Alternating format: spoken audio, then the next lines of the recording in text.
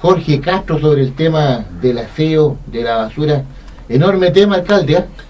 Claro, y, y, lo otro, Mauricio, que yo creo que también hay que, hay que mencionarlo en el sentido de que esto se tiene que ver como eh, en la parte general.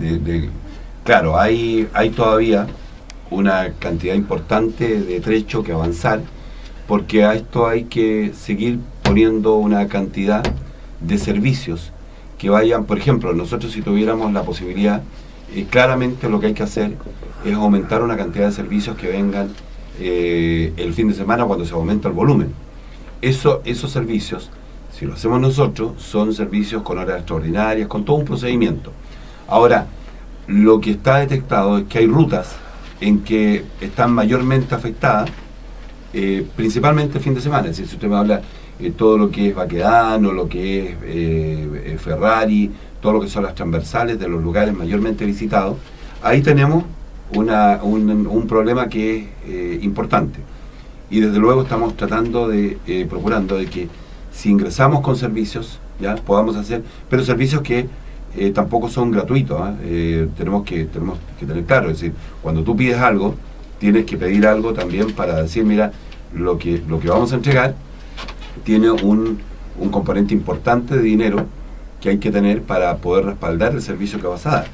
Y lo segundo es también decir, Mauricio, que esto tiene y es vinculante respecto a lo que nosotros tenemos que hacer en, en, la ciudad. Eh, vamos a ser la primera ciudad ¿ya? que vamos a entrar a poder hacer de, por ejemplo, de, un vertedero pasar a un relleno sanitario, que para nosotros es súper importante.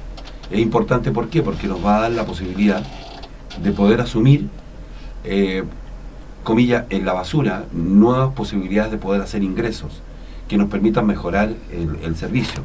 Por ejemplo, estoy, eh, estoy pensando de que cuando esto, esto ya es una realidad. Nosotros vamos a hacer el primer relleno sanitario, que es vinculante con el servicio, porque de repente cuando tú solamente pides, ¿ya? nosotros tenemos que pagar también lo que es el ingreso de la basura que sacamos en el domicilio. Y por lo tanto ahí también hay otro volumen. ¿ya? No es solo lo que tú tienes que decir, eh, eh, mira, eh, bueno, haz un mejor servicio, sácalo, ¿ya? ya no estás cubriendo eso, pero cuando tú ingresas con la basura de los porteños, tú tienes que además pagar un porcentaje porque tienes que hacer que esa basura sea tratada. Y por lo tanto vamos a pasar a relleno sanitario, que es súper importante, porque nos va a dar la posibilidad de poder hacer negocios asociados a esa basura que nos permitan eh, el poner más elementos en la flota, el poder tener el mejor respaldo para las horas extraordinarias que signifiquen los nuevos servicios que hay que agregar y también tener el material rodado que, fíjate, solo, solo en eso, Mauricio, no hemos podido hasta ahora, recién estamos en este año haciendo la inversión en los cuarteles que son los que atienden la, basura. Tenemos un, personal de esta ciudad debe tener cerca de 700 personas que están en, esto. 700 y una flota de 50, de 50 aproximadamente. Hay un auditor que hace mención a los problemas en el Cerro Concepción, que según él los ha planteado en varias oportunidades. Nos consta aquí también su reclamo en el Twitter Café.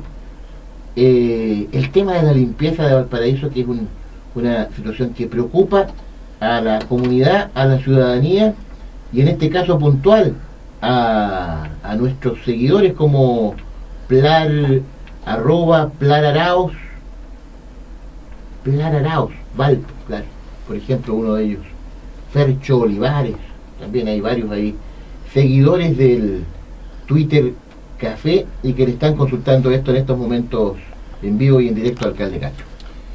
A ver, yo creo que eh, todavía tenemos un, gran espacio y yo no voy a aludir el hecho de que eh, pretender decir una cosa que, que, que es evidente. Nos falta todavía una buena cantidad de tiempo para poder asumir el hecho de que tenemos un inconveniente que, que es de que tú le pones al sistema, le, sigues, le sigues dando y eh, seguimos teniendo importantes focos de basura en distintos sectores de la ciudad.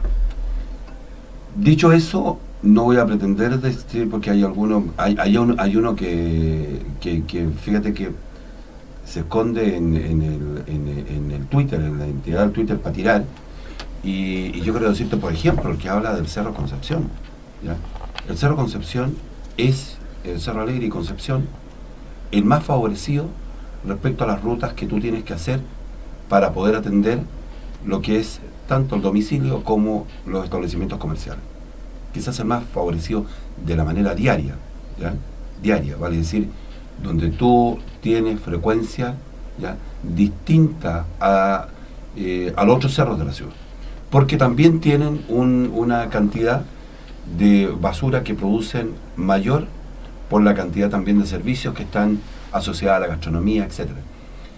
Pero eh, claramente, Mauricio, esto viene de una situación que tiene que ver en las opciones que nosotros tuvimos hace algunos años atrás, que es establecer de que los funcionarios municipales, mediante una ley, son los encargados de hacer, eh, ejecutar todo el programa ambiente, todo lo que tiene que ver con el aseo de la ciudad. Dicho eso, eh, lo primero que hay que decir es que la ciudad nunca ha tenido una cantidad de funcionarios, ni material, digo material rodado, que permita el poder tener un, un aseo 2, por así decirlo. Porque todos te piden, todo claro, te piden cuando, cuando en La Palma, ¿ya? En La Palma hay un sector que claramente tú, tú te das cuenta que son los propios vecinos que están y que viven ahí, que en vez de pasar el, el, aseo a, al, al camión recolector, lo que hacen es mandarlo directamente a la quebrada que está atrás y que da al inicio de La Palma o que, o que el público que transita por ahí lo puede ver. Entonces, lo que, lo que, lo que tenemos es un aseo que, que es nuestro, una operación que es 24 por 24 y que tiene además la particularidad de que esto lo primero que debe hacerse cuando tú reconoces de tomar la función hace ya, yo diría, un poco más allá de 10 años, 12 años, de tomar el, aseo en mano municipal, es primero que el aseo es un servicio, al igual que el agua, al igual que la luz. Pero la gente no lo siente así, y la operación de aseo de esta ciudad debe estar hoy día anualmente en 6.500 millones de pesos. De esos 6.500 millones de pesos, lo que tú logras captar por el servicio que entregas son alrededor de 1.600 millones de pesos. Por lo tanto, tú ya entras al año sabiendo que te va a producir el tratar de hacer toda la operación de aseo de la ciudad un déficit importante, de los cuales hay un solo responsable. Y los que disparan, ¿ya? los que disparan cómodamente a través del teclado, que es mucho más fácil, ya eh, lo, que, lo que no tienen claro es que la gente, los móviles y el combustible, nosotros no tenemos ninguna preventa especial respecto a ello. Es decir, tenemos que, tenemos que pagarlo. Entonces, y, y, solo te doy un ejemplo, en el año 2010, Mauricio,